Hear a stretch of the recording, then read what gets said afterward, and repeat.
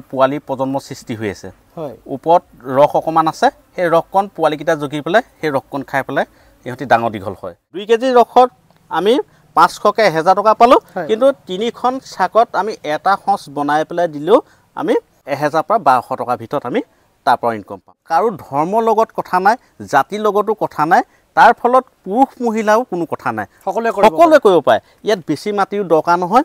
আৰু কম জেগাতে বেছি উৎপাদন কৰিব পাৰিব। এয়া মই ৰসবিলাক এনেকৈ পৰ্যাপ্ত পৰিমাণে এয়া ভৰাই ৰাখিছোঁ এয়া দেখিছেনে? শুদ্ধ মৌ মাখিৰ ৰস। নমস্কাৰ বন্ধুসকল মই সুদীপ্ত বৰা আৰু বৰ্তমান আছোঁ মই আজি বাদলিপাৰৰ বহু পথাৰত। আৰু আজি এই ভিডিঅ'টোৰ যোগেদি মই আপোনালোকক দেখুৱাব বিচাৰিছোঁ বিজ্ঞানসন্মতভাৱে আমি কেনেদৰে মৌ পালন কৰিব পাৰোঁ। আজি এজন মোৰ দাদা আছে মোৰ লগত যি বহুত বছৰৰ পৰাই মৌ পালনৰ লগত জড়িত। আৰু প্ৰকৃততে আমি মৌ পালনটো জীৱিকাৰ পথ হিচাপে ল'ব পাৰোঁ নে নোৱাৰোঁ? সম্পূৰ্ণ কথা ভিডিঅ'টোৰ যোগেদি আপোনালোকক মই দেখুৱাব চেষ্টা কৰিম। গতিকে ভিডিঅ'টো আপোনালোকে শেষলৈকে চাই থাকিব। দাদা প্ৰথমতে মই আপোনাৰ চিনাকিটো জানিব চেষ্টা কৰিম। হয় হয় নমস্কাৰ। মোৰ নাম শ্ৰী হৰেণ কোঁৱৰ। হয়। মোৰ ঘৰ লিকচন বহু পথাৰ হয়। আৰু মোৰ বালিপাৰ সমীপত বুলিও ক'ব পাৰি। আপুনি কিমান দিনৰ পৰাই মৌ পালনৰ লগত জড়িত? মই প্ৰায় ন বছৰ ধৰি মৌ পালনৰ লগত জড়িত হৈ আছোঁ। হয়। হয়। আৰু মই ইয়াতে দেখা পাইছোঁ যিখন আপোনাৰ বেনাৰ লেখা আছে যে মৌ পালনৰ প্ৰশিক্ষণ দিয়া হয়।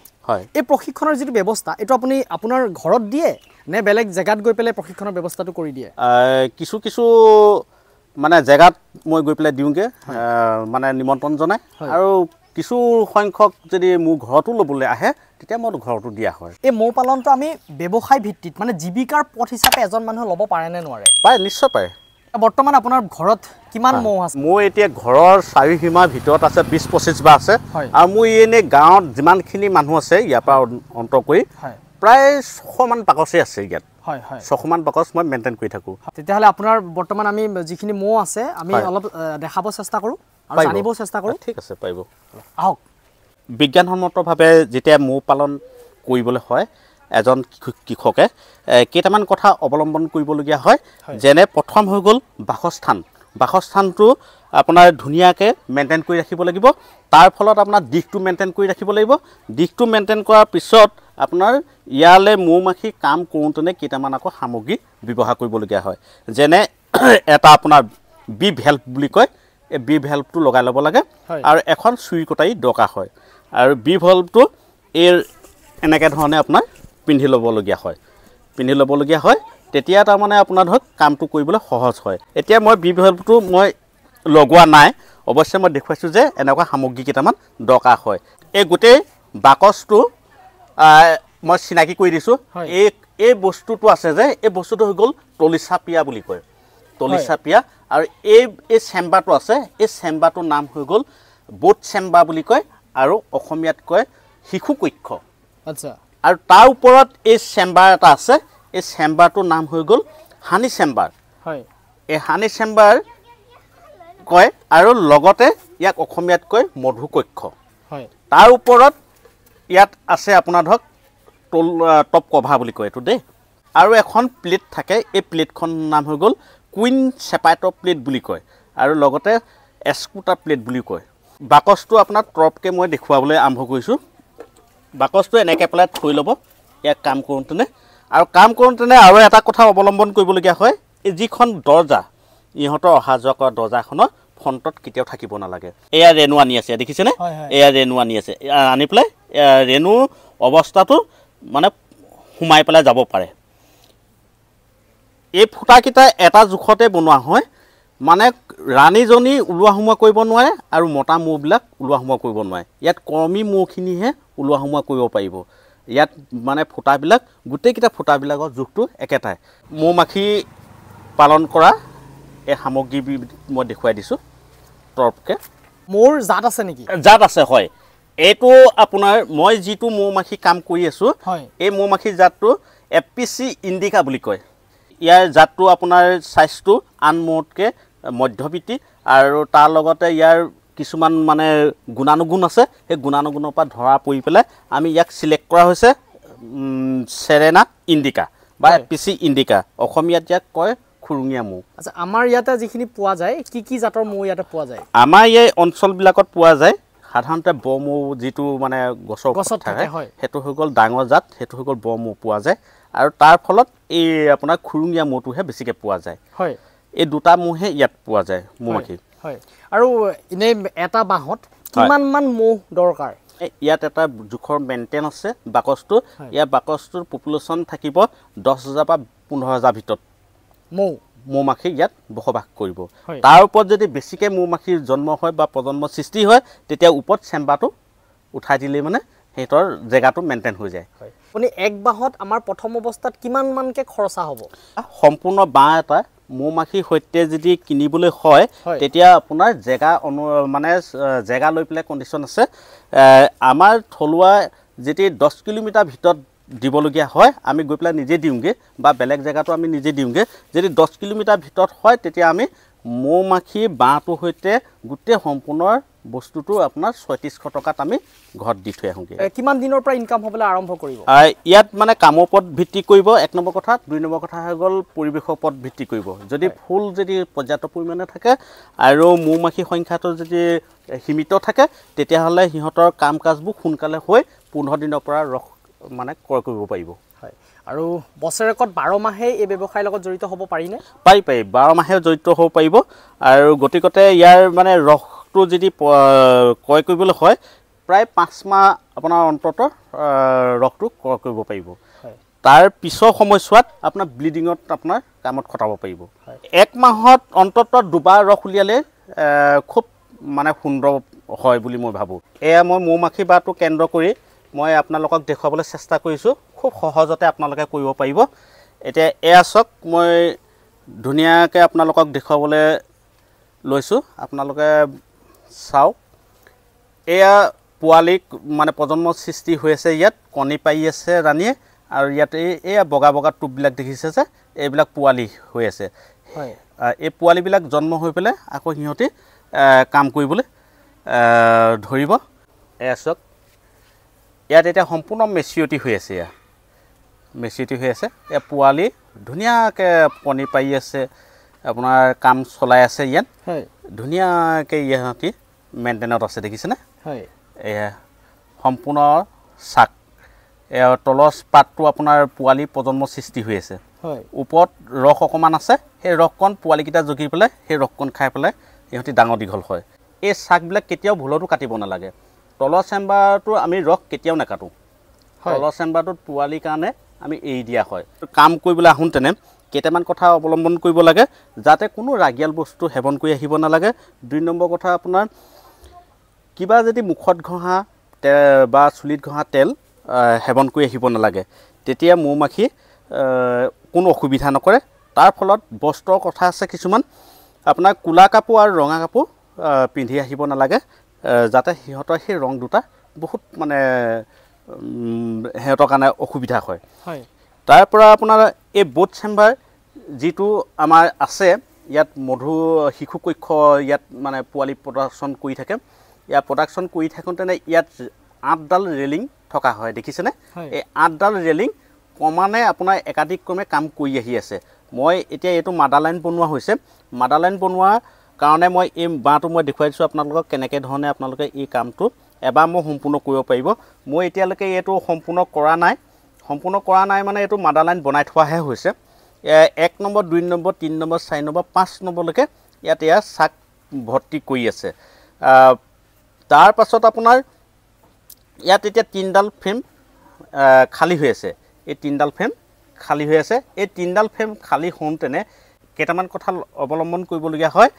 সাত নম্বৰ ফ্ৰেমটোত যেতিয়া পাবহি তেতিয়া সিহঁতি মতা মৌ চাক বনাবলৈ আৰম্ভ কৰে। আৰু আচ্ছা, মতা মৌ চাক যেতিয়া বনাব তেতিয়া ঘৰ ডিভিজন কৰা বা আপোনাৰ পোৱালি প্ৰজন্মৰ সৃষ্টিটো তাৰমানে দুখন ঘৰ কৰা মানে সম্ভাৱনা থাকে। তেতিয়া যিকোনো কৃষকে প্ৰথমতে চাব লাগে যে কোন ছাইডৰ পৰা মই চাইছোঁ। সেই ছাইডটো আপোনাৰ কাঁচিন মাৰি থ'ব লাগে বা কিবা মানে দাগ এটা মাৰি থ'ব লাগে। তেতিয়া খুব সহজ হয় কামটো কৰিবলৈ। যেতিয়া সাত নম্বৰ চাকটোলৈকে কাম কৰিলে আঠ নম্বৰ চাকটো কাম কৰোঁতেনে ইয়াত মতা চাক বনাব। আৰু মতা চাক বনালে মানে সেই মতা চাকটো বেলেগলৈ ডিভাইড কৰিব পাৰিব নহ'লে কাটি পেলাই আঁতৰাই দিব পাৰিব। নহ'লে মানে মতামৰটো বেছিকৈ হ'লে মানে আপোনাৰ কুইনচেলটো বেছিকৈ বনাব। কুইনচেল বনোৱাৰ লগে লগে ইয়াৰ পৰা জাক ফাটি ওলাই যাব পৰা সুবিধা থাকে। যেতি যদিহে গেটখন খোলা হৈ নাথাকে যদি গেটখন খোলা হৈ থাকে দাঙি থোৱা থাকে তেতিয়া ইয়াত মতামৰ চাক বনাই পেলাই এবাৰ আহ, ওলাই গুচি যাব। এতিয়া ৰস যদি ল'বলগীয়া হয় ইয়াৰ পৰা তেতিয়া এই প্লেটখন দৰকাৰ হয়। এই প্লেটখন মই ইয়াত দি দিলোঁ। ইয়াত ৰাণী আছে তলত আৰু ইয়াত প্ৰজন্ম সৃষ্টি হৈ আছে। তেতিয়া মই ওপৰত ৰস পাবৰ কাৰণে মই মধুকক্ষটো ইয়াৰ ওপৰত তুলি দিব পাৰোঁ। ইয়াত এয়া মধুকক্ষটো তুলি দিয়া হ'ল যাতে ৰাণীজনী ইয়াৰ ওপৰলৈ উঠি আহিব নোৱাৰে আৰু মতা মৌখিনি ওপৰত উঠি পেলাই ৰস খাব নোৱাৰে।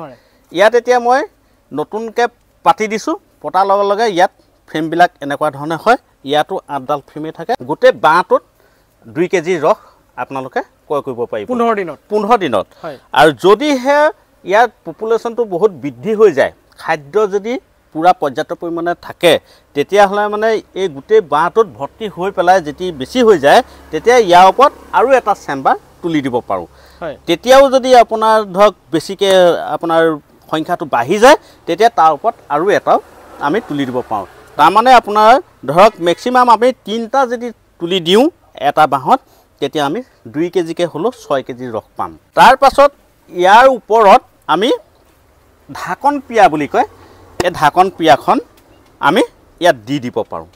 তেতিয়া গোটেই বাঁহটো তাপবিলাক মেইনটেইন হৈ থাকে। আৰু তাৰ ফলত আমাৰ এই পিয়াখনত দুটা ফুটা আছে দেখিছেনে। এই ফুটাটো ইয়াৰ গৰম ভাপখিনি যিখিনি গৰম ভাপ হয় এইপিনেদি বাছ হৈ যায়।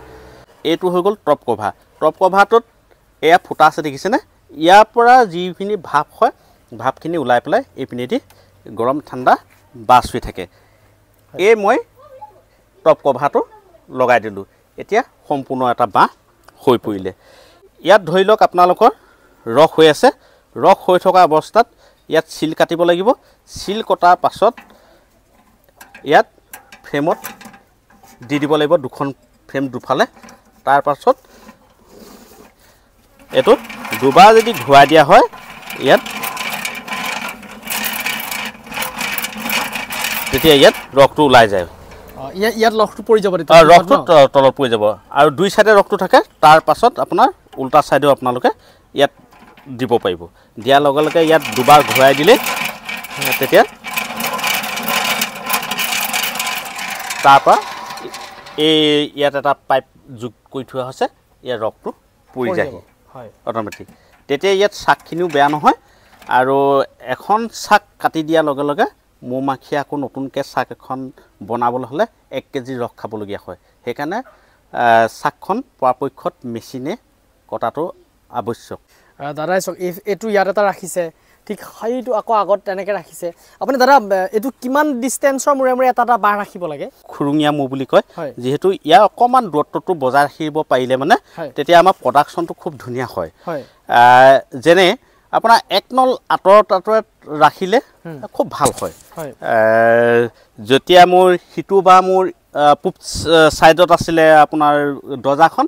মই এইটো আ, উত্তৰ মুৱা কৰি দিলোঁ বা সিটো মই আ, দক্ষিণ মুৱা কৰিলোঁ এনেকৈ তাৰমানে আচলতে যিখন ওলোৱা সোমোৱা দৰ্জা।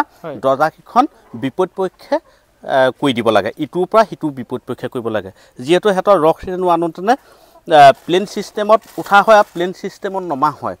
সেই কাৰ্যটো যাতে ইটো বাঁহৰ মৌ মাখি সিটো বাঁহৰ লগত মানে খেলি মেলি হৈ নাযায়। আৰু এটা জাত আছে আপোনাৰ এই ইটালিয়ান মেনিফায়াৰ বুলি কয় যিটো আমাৰ পশ্চিমীয়া সঁচ বুলি কয়। সেই পশ্চিমীয়া সঁচটো আকৌ একাধিকক্ৰমে লাইন পাতি পেলাই ওচৰা ওচৰিকৈ ৰাখিব পাৰি। সেইটো হৈ গ'ল আমাৰ যেনে লোকেল কুকুৰা আৰু ব্ৰইলাৰ কুকুৰা এইটো হৈ গ'ল আমাৰ লোকেল মৌ মাখি আৰু। তাক মানে আপোনাৰ তাক সঁচটো বিজ্ঞানসন্মতভাৱে মানে অকণমান উন্নত কৰি লৈছে। উন্নত কৰাৰ লগে লগে তাৰ খাদ্য প্ৰণালীটো আৰু ইয়াৰ কাম কাজৰ প্ৰণালীটো এই ইণ্ডিকাতকৈ সিহঁতৰ কাম কাজটো বহুত বেলেগ ধৰণৰ। তাত ৰসটো বহুত প্ৰচুৰ পৰিমাণে পোৱা যায়। আৰু যদিহে ভাল ধৰণে কৰে তাৰ পৰা ভাল কৃষকে ভাল ধৰণে স্বাৱলম্বী হ'ব পাৰিব। মহৰ বাকচটো মই ছয়ত্ৰিছশ টকাত আপোনাৰ নিলোঁ। আপোনাৰ পৰা। আপুনি মাহেকত দুবাৰ আমি মৌ কাটিব পাৰিম বুলি কৈছে। ইয়াৰ পৰা মোৰ কিমান ইনকম ইনকম হ'ব এক মাহত? যদি পৰ্যাপ্ত পৰিমাণে ফুল থাকে তেতিয়া আপোনাৰ ৰসটো আপোনাৰ দুই কেজিকৈ পাব এটা চেম্বাৰত। দুই। কেজিৰ দাম আমি হ'লচেল দিওঁ চাৰিশ পৰা পাঁচশ টকাৰ ভিতৰত। আৰু যদিহে খুচুৰা দিয়া হয় তেতিয়া ছশ টকা কেজিকৈ আমি দিয়া হয়। বা ধৰি লৈছোঁ আমি পাঁচশ টকা কেজিয়ে আমি পালোঁ। তেতিয়া মাহেকত আমাৰ এহেজাৰ টকা হ'ল। আৰু তাৰ পাছত আমি ইয়াৰ পৰা সঁচ বেলেগতো আমি দিব পাৰোঁ। দুই কেজি ৰসত আমি পাঁচশকৈ এহেজাৰ টকা পালোঁ। কিন্তু তিনিখন চাকত আমি এটা সঁচ বনাই পেলাই দিলেও আমি তাৰ এহেজাৰ পৰা বাৰশ টকাৰ ভিতৰত আমি তাৰ পৰা ইনকম পাওঁ মাহেকত? এবাৰ কৰিব পাৰি এটা। বাহত হয় হয়। আৰু ছিজনটোৰ ওপৰতো নিৰ্ভৰ কৰে আপোনাৰ ফুল পৰ্যাপ্ত পৰিমাণে থাকিব লাগিব মতা ম'হৰ সংখ্যাও থাকিব লাগিব আৰু ইয়াত কৰ্মী ম'হৰ সংখ্যাও থাকিব লাগিব তেতিয়াহে আমি চাই পেলাইহে ইয়াৰ পৰা সঁচটো ডিভিজন কৰিব পাৰোঁ হয় অকল মৌ মাখিৰ ৰসটো খোৱাটোৱে নহয় ইয়াত কিছুমান প্ৰডাক্ট পায় ইয়াত। সেই। প্ৰডাক্টবিলাক আমাৰ মানে বহুত মূল্যৱান হয়। আৰু ইয়াৰ মূল্যৱান প্ৰডাক্টকেইটা হৈ গ'ল মই এটা কওঁ আপোনাৰ ধৰক পপুলিছ বুলি কয় যিটো আমাৰ ৰেণুটো আনি পেলাই ইয়াত পৰ্যাপ্ত পৰিমাণে থয় সেইটো হৈ গ'ল পপুলিছ বুলি কয়। তাৰ আমাৰ ছাপ্লিমেণ্টত যিবিলাক ৱেট লিফটিং কৰা। তাত আপোনাৰ ধৰক মাছেলা সেইবিলাক কৰোঁতেনে তাৰ সেই খাদ্যটো দিয়া হয়। আৰু সেই সেই বস্তুটো আমাৰ মানে ৰসতকৈ চাৰিগুণ দামত আমাৰ বিক্ৰী কৰা হয়। ৰসটোত যদি আমাৰ পাঁচশ টকা হয় তেতিয়াহ'লে আমি পোন্ধৰশ টকা কেজি পাওঁ। সেই পপুলেচটোত হয়। তাৰপাছত এটা আছে ৰয়েল জেলি বুলি কয় সেইটো হৈ গ'ল আপোনাৰ ৰাণীক যিটো মানে খাদ্য দিয়া হয়। ৰাণীক যিটো খাদ্য দিলে মানে ৰাণী প্ৰস্তুত হৈ যায়। তাৰ দাম আকৌ পপুলেচতকৈ দুগুণ বেছি দাম। আচ্ছা আচ্ছা। তাৰ পাছত আটাইতকৈ দামী মূল্যৱান বস্তুটো হৈ গ'ল এই মৌ মাখিজনীৰ যিটো হোম মানুহক ফিটে যে। সেই হোমটো ভেনামটো। ভেনামটো আপোনাৰ এতিয়া বজাৰত বিছ গ্ৰাম ভেনাম যদি ক্ৰয় কৰিবলগীয়া হয় তেতিয়া প্ৰায় ষাঠি সত্তৰ কোটি টকামানো মানে প্ৰডাক্ট হয়। ব্যৱসায় ভিত্তিত যদি কৰিবলৈ হয় তেতিয়া আমি পশ্চিমীয়া সঁচটো কৰিব পাৰোঁ আৰু। খুৰুঙীয়া মৌ এইটোও কৰিব পাৰোঁ আৰু এটা মোৰ জাত আছে সেই জাতটো হৈ গ'ল ষ্টিংলিছ বি। মানে আপোনাৰ ক্ষুদ্ৰ মৌ যিটো। ক্ষুদ্ৰ মৌ তাৰ আপোনাৰ ৰসৰ কোৱালিটিটো বহুত দাম হয় প্ৰায় এপোৱা দামে পঁয়ত্ৰিছশমান টকা হয়গৈ প্ৰতিজন খেতিয়কে মোৰ দৰে মৌ পালন এবাৰকৈ হ'লেও নোৱাৰিলেও অন্ততঃ এবাৰকৈ হ'লেও মৌ পালন কৰাটো আৱশ্যক বুলি ভাবোঁ যিহেতু আমাৰ খাদ্যবস্তু নাটনি হোৱাৰ লগতে আমাৰ ফল মূলবিলাকৰ যিটো পৰাগৰেণু সংযোগ হয় সেই সংযোগটো নাইণ্টি ফাইভ পাৰ্চেণ্ট আমাৰ মৌ মাখিয়ে সংযোগ কৰে। সেইকাৰণে মৌ মাখিটো প্ৰতিজনৰ ঘৰতে কৃষকৰ হিচাপত এবাৰকৈ হ'লেও থকাটো অতি দৰকাৰ। কাৰো ধৰ্মৰ লগত কথা নাই জাতিৰ লগতো কথা নাই তাৰ ফলত পুৰুষ মহিলাও কোনো কথা নাই। সকলোৱে সকলোৱে কৰিব পাৰে। ইয়াত বেছি মাটিও দৰকাৰ নহয় আৰু কম জেগাতে বেছি উৎপাদন কৰিব পাৰিব। মৌৰসটো সাধাৰণতে এনেকুৱা চিচা বৈয়াম হ'ব লাগে খুব শুদ্ধকৈ ধুব লাগে। আৰু শুদ্ধকৈ ধোৱাৰ পাছত উবিয়াই পেলাই ৰাখিব লাগে। তাৰ পাছত আপোনাৰ ধুনীয়াকৈ এয়া মই ৰসবিলাক এনেকৈ পৰ্যাপ্ত পৰিমাণে এয়া ভৰাই ৰাখিছোঁ এয়া দেখিছেনে? শুদ্ধ মৌ মাখি ৰস। ইয়াত আপোনাৰ এনেকৈ ধৰণে চিচাও ৰাখিব পাৰিলে মানে ভাল হয়।